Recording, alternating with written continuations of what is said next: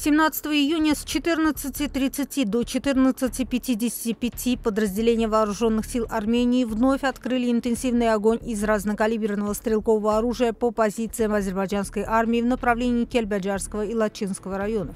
Об этом сообщило Министерство обороны Азербайджана. Подразделениями азербайджанской армии, дислоцированными на указанных направлениях, были приняты адекватные ответные меры. Кроме того, члены незаконных армянских вооруженных формирований на территории Азербайджана, где временно дислоцируются российские миротворцы, в гражданской одежде попытались установить долговременные фортификационные сооружения перед нашими позициями, расположенными в направлении Агдамского района. В результате неотложных мер, предпринятых нашими подразделениями, работы были немедленно остановлены, говорится в сообщении оборонного ведомства Азербайджана.